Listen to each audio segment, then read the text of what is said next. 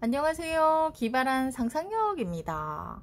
오늘은 어, 아들이 읽었던 책 해리포터의 리뷰를 하려고 그래요. 네, 맞아요. 이 책 재밌었어요? 네, 재밌었어요. 얼만큼?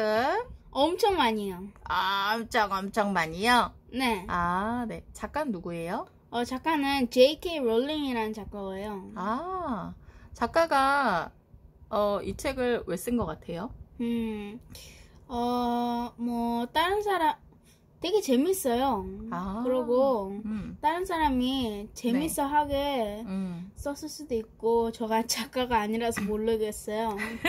네. 그러면 어, 이 책 이야기 좀 해주세요. 음, 이 책은 어떤 아이가 있었는데, 네. 걔 부모가 어릴 음. 때 음, 나쁜 마법사한테 음. 주, 자, 어, 해치렸는데, 음, 해치렸고 죽여, 죽었는데, 음.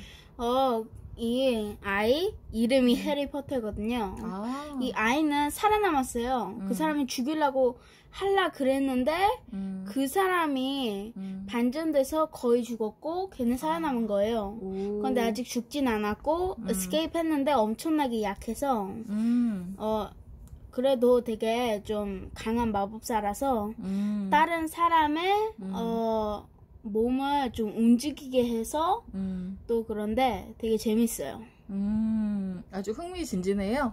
네, 한 책이 음. 한 여섯, 여섯 권? 일곱 권 정도 음. 있을 것 같은데. 아, 지금 집중 듣기 계속 하고 있고 이 1권을 읽은 거죠? 네. 아, 어렵지 않았어요?